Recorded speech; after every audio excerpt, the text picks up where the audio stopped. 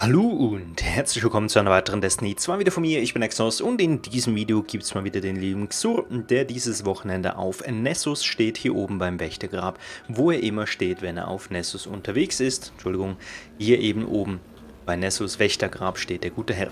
Wir donnern mal ganz kurz den Weg entlang dann zeige ich, was er dabei hat, hat und dann gebe ich natürlich noch meine Expertise ab zu der Waffe und auch zu den Rüstungen, die er mit sich führt. Nun, hier hoch auf dem Baum und oben steht der gute Herr und dabei hat er folgende Gegenstände.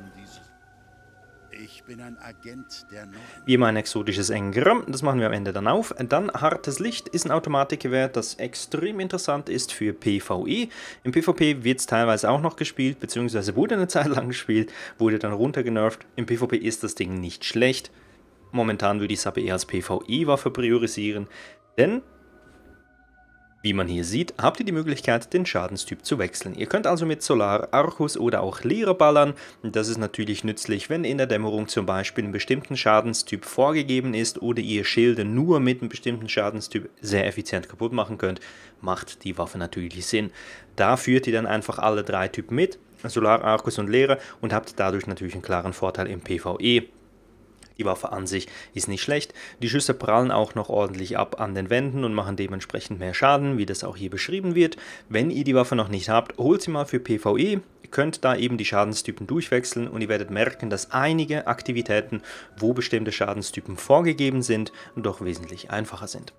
Oder einfacher werden. Dann Ahamkaras Rückgrat für die Jäger mit dem 64er Wert ist okay. Hier ist es so, dass ihr eine Lichtsensormine, also ein Lichtsensorminchen Plüsschen kriegt, sage ich mal, ein bisschen mehr Lichtsensormine, denn Lichtsensormine-Granaten halten länger, äh, halten länger an und Expl der Explosionsradius ist größer, Fähigkeitsschaden gibt Lichtsensormine-Granaten Energie zurück. Es ist nämlich so, dass wenn ihr die Lichtsensormine dann an der, Waff an der Wand klatscht, dann braucht es viel länger, um sie kaputt zu schießen als Feind, wenn man das natürlich möchte, und sie hält extrem viel länger. Jetzt ist es sag's mal so, im PvP wird es hier und da mal gebraucht, weil die Lichtsensormine doch einen besseren Radius hat und die Feinde kriegen doch ordentlich viel Schaden. Im PvE, ja, man kann was machen mit der Kombination, dass Fähigkeitsschaden hier Lichtsensormine Energie zurückgibt. Da haben wir die Möglichkeit ein bisschen zu experimentieren. Sie ist in der Gesamtsumme nicht schlecht, aber ich finde es momentan ist es keine Must-Have-Exo. Dann haben wir Wappen von Alpha Lupi für die Titans mit einem 62er Wert, was leider sehr, sehr tief ist. Die haben die Fähigkeit drauf. Erzeugt eine zusätzliche Sphäre der Macht durch Super äh, und äh, einen Heilungsimpuls bei aktivierter Barrikade.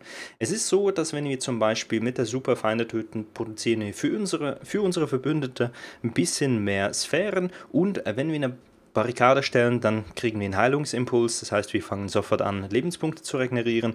Ist im PvP ich sag's mal so, es ist durchaus interessant, wenn man weak ist und danach einfach kurz eine Barriere, Barriere stellt und danach hat man sofort die Lebenspunkte wieder. Ein bisschen mehr Sphären für die Teamkameraden macht auch Sinn, gerade im PvE. Ich sag's mal so, wenn man nicht weiß, welche Exo man anziehen soll, Wappen von Alpha Lupi ist für einen Titan nie verkehrt. Kann man überall immer brauchen.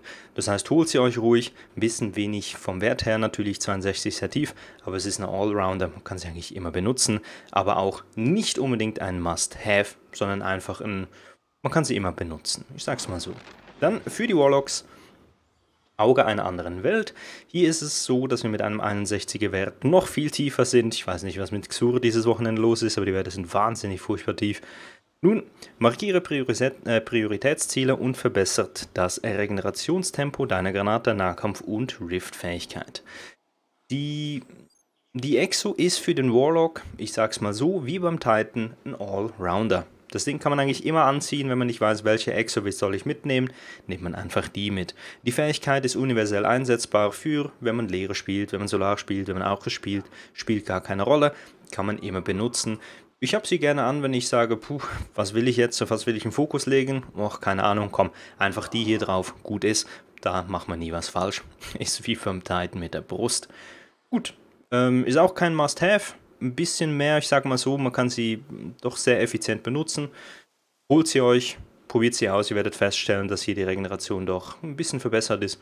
Im Großen und Ganzen schlecht. Gut, Surat von den Werten her leider ein bisschen tiefer Wert dabei aber die Exos, die er dabei hat, sind nicht schlecht.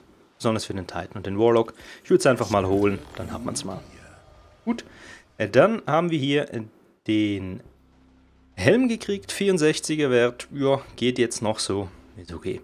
Gut, das war es im Grunde genommen auch schon mit dem lieben Xur. Schreibt gerne in die Kommentare, was ihr euch Schönes gegönnt habt, was ihr Schönes aus dem Exo-Engramm rausgekriegt habt. Lasst ein Like da, ihr wisst, wie es funktioniert, ne, mit dem YouTube-Algorithmus. Am Ende bleibt mir noch zu sagen, vielen, vielen Dank fürs Zuschauen. Wir sehen uns im nächsten Livestream auf Twitch und im nächsten Video auf YouTube.